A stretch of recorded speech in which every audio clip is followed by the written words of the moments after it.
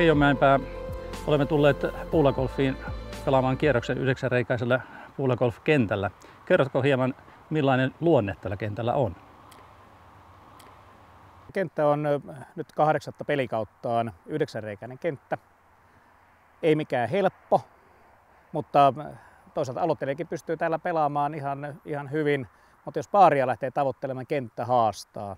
Tämä on kahdeksan vuoden aikana nyt viime viikonloppuna ensimmäisen kerran pelattu alle paarin, eikä yhden kerran.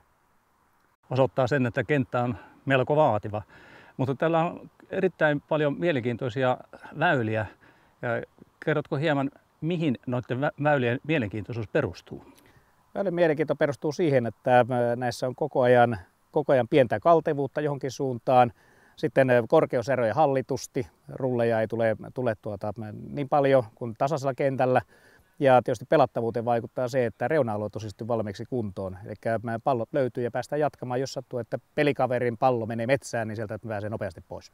Meillä on kentällä, kentällä noin 13 000 starttia kauden aikana, vieraspelaajia näistä on noin 5000, eli ihan mukavia määriä.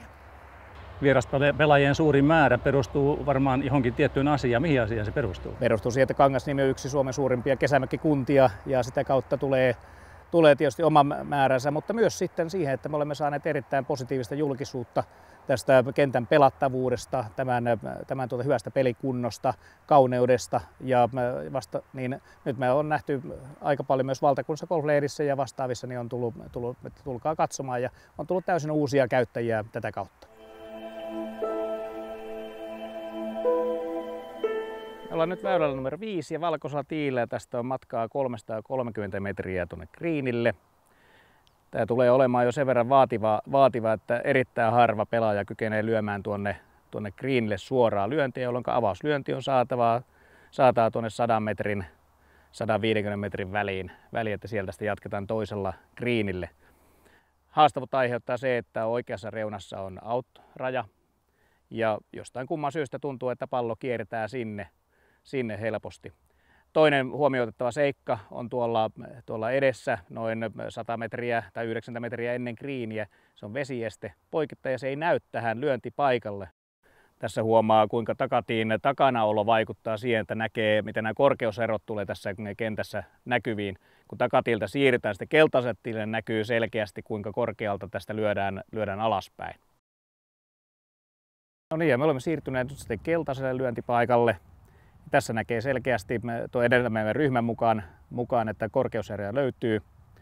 Ja tässä tulee huomioida sitten etäisyys tuon vesiesteeseen, missä kuvassa näkyy lyöksi leikatun raja tuossa noin 100 metrin päässä kriinistä tänne päin. Putoaa jyrkästi alaspäin, siellä on vesieste. Ja siinä on matkaa tästä noin 210 metriä ja pistää harkintaan sitten, että rupeeko lyömään pitkää lyöntiä, silloin pitää päästä suoraan greenille asti 310 metriä tai sitten jättää suoraan tuohon 100 metrin merkille ja siitä jatkaa sitten lyhyellä raudalla.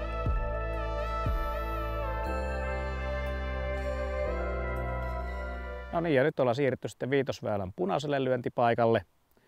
Tästä peruspelaaja ei paljonkaan hyödy tästä punaiselle menosta, ainoastaan sen, että avauslyöntiimme lyhyempi.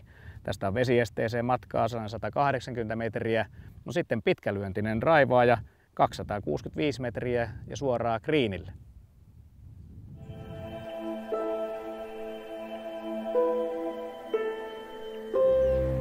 Ja sitten edessä näkyy myös sitten harjanteen takana piilossa ollut vesieste.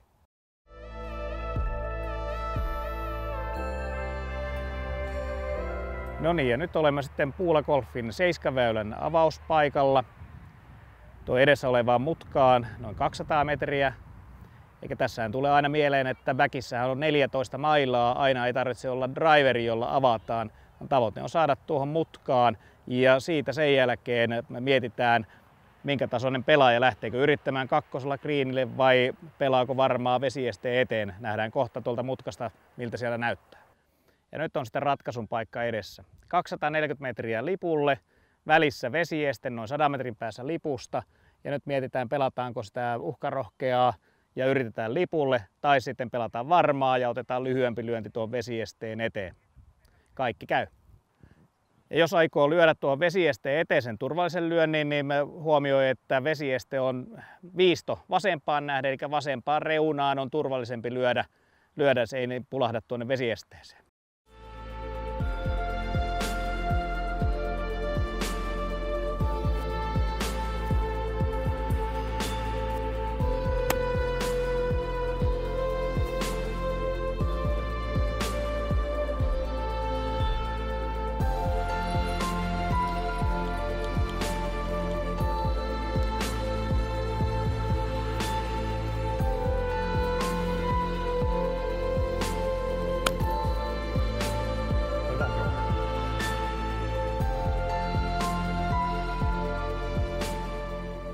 Niin, ja olemme tulleet sitten yhdelle puulekolfin kauneimmista väylistä, Par 3, väylä numero 8, keltaiselta mittaa 178 metriä. Haastetaan asettaa vasemmalla oleva vesieste ja tietysti tämä lyönnin mitta. Joo, eli par kolmonen tähän tietysti houkututtaa siihen, että lähdettäisiin yhdellä lyönnillä avaamaan tuonne keskelle greenia. Toki jos haluaa pelata varman päälle paaripeliä, suosittelen jättämään pikkasen vajaaksi tuohon keskelle greenia etukanttiin. Siitä sen jälkeen nätti chippi kupin juureen ja putti sisälle ja jälleen tehdään paari.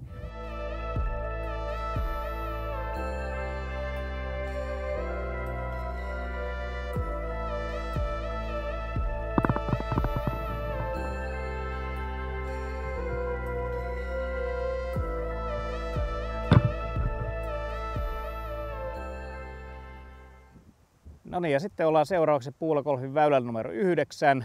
Vaikein väylä tällä kentällä.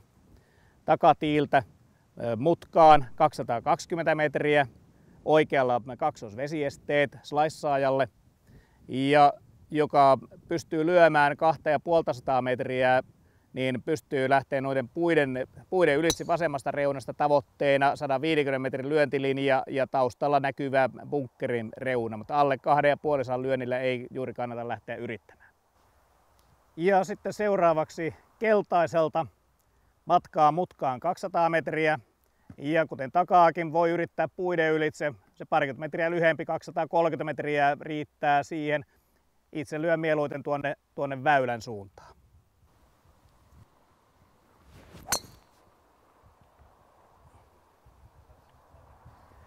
No niin, ja nyt ollaan sitten puolagolfin väylän yhdeksän taitepisteessä. Ja tämä HCP1 tulee, tulee siitä, että jatkolyönti on vielä 125 metriä ylämäkeen, nousua 12 metriä ja vastassa on vielä korotettu kaksitasoinen kriini bunkkeroituna. Ei mikään helppo. Se kyllä haastaa.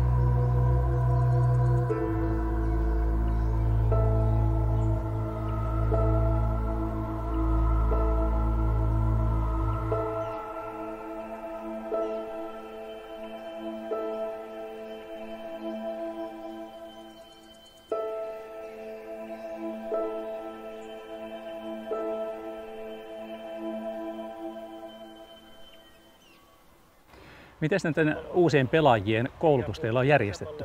Meillä on golfopettaja, joka pitää peruskursseja. Peruskursseista löytyy aina tietoa meidän kotisivulta puulegolf.com ja sieltä kautta aina että milloin seuraava kurssi ja kurssi kestää yhden viikon lopun. Ja sinä aikana ehditään saada sitten golfin ajokortti eli green card.